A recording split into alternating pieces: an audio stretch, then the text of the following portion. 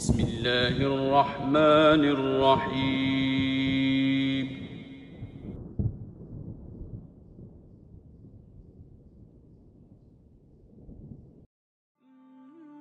असलकुम Islamic teacher videos के प्यारे साथियों, दुआ है कि अल्लाह पाक आप सबको अपने हिफ्जो अमान में रखे। आज इस वीडियो के अंदर आप लोगों को बताने जा रहा हूँ, एक ऐसी सूरत।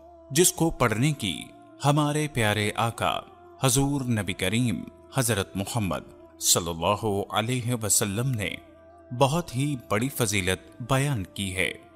तो आज की इस वीडियो में हम आपको बताएँगे एक बहुत ही आसान सी सूरत और उसको पढ़ने की बहुत सी फजीलतें जो कि हजूर नबी करीम, हज़रत मोहम्मद सल्लल्लाहु अलैहि वसल्लम ने बयान की हैं। कुरान हदीस की रोशनी में आज हम आपको बताएँगे इस सूरत को पढ़ने की फजीलत।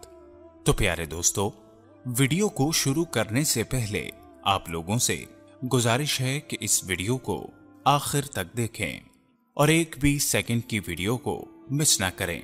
अगर आप हमारे चैनल पर नए हैं तो हमारे चैनल को सब्सक्राइब करें और बेल आइकन को प्रेस कर दें, ताकि हमारी नई आने वाली तमाम वीडियोस का नोटिफिकेशन आपको हासिल हो सके।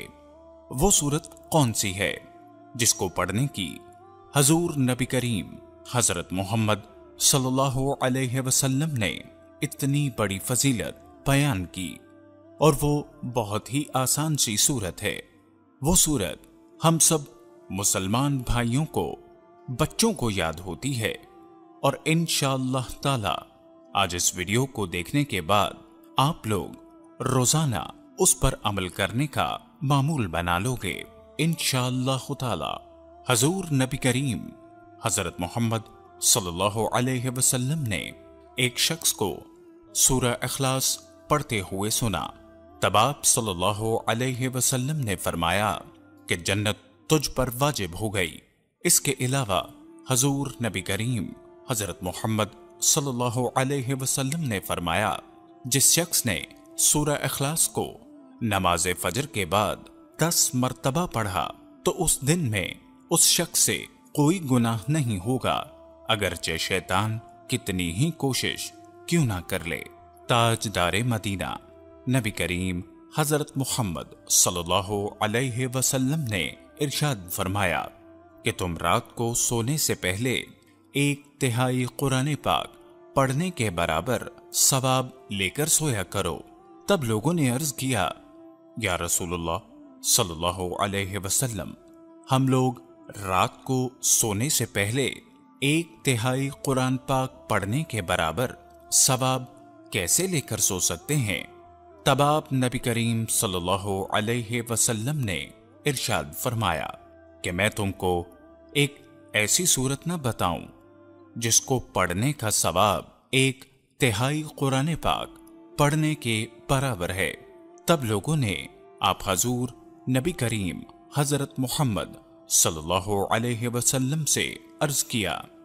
जी, ज़रूर बताइए, आप सल्लल्लाहु अलैहि वसल्लम ने फरमाया, जब तुम रात को सोने के लिए बिस्तर पर जाया करो, तब आप लोगों को चाहिए कि आप लोग सिर्फ़ एक मर्तबा, सूरह इखलास, पढ़कर सोया करो।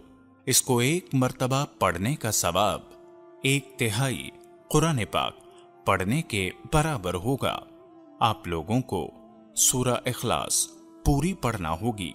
एक मर्तबा, सूरह इखलास पढ़ने का सवाब, एक तिहाई कुरान पाक पढ़ने के बराबर है।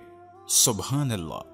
हजूर नबी करीम हज़रत मोहम्मद वसल्लम ने फरमाया, जिसने सूरह इखलास को एक मर्तबा पढ़ा, गोया उस शख्स ने एक तिहाई कुरान पढ़ा और जिस शख्स ने सूरह इखलास को दो मर्तबा पढ़ा, गोया उसने दो तिहाई कुरान पढ़ा और जिसने सूरह इखलास को तीन मर्तबा पढ़ा, गोया उसने पूरा कुरान पढ़ा और जिस शख्स ने ग्यारह मर्तबा सूरह इखलास को पढ़ा तो अल्लाह तबारक व ताला उसके लिए जन्नत में सुर्ख याकूत का एक घर बनाएगा।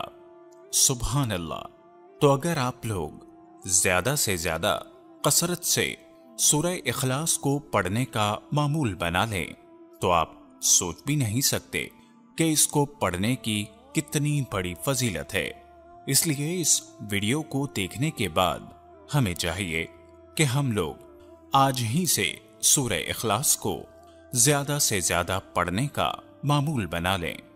हमारे पास जब भी वक्त हुआ करे, जब भी वक्त मिला करे, जब भी हमें लगे कि फारग बैठे हैं, सूरह इखलास को पढ़ने का मामूल बना लें। इसके साथ साथ जब हम लोग रात को सोने के लिए अपने बिस्तर पर जाएँ तो सबसे पहले हमें चाहिए कि हम लोग अपने गुनाहों की तौबा करें। तो सबसे पहले तौबा अस्तगफार की तस्बी पढ़ें और इसके बाद हम लोग कसरत से सूरह इखलास को पढ़ा करें, क्योंकि सूरह इखलास को पढ़ने की बहुत ही बड़ी फजीलत है। वक्त को जाया किए बगैर। कसरत से सूर्य इखलास को पढ़ लिया करें। इसके साथ साथ इतनी प्यारी प्यारी हदीसों को, इतने प्यारे प्यारे बयान को आप लोगों को चाहिए कि आप लोग वीडियो को ज़्यादा से ज़्यादा लाइक और शेयर करें और कमेंट्स बॉक्स में अपनी राय का इजहार और हमें अपनी राय से ज़रूर आगाह करें। दुआ है कि अल्लाह पाक हमें इस कलाम पाक को ज़्यादा से ज़्यादा पढ़ने की तोहफी कता फरमाए। आमीन। क्या रब्बुल आलमीन।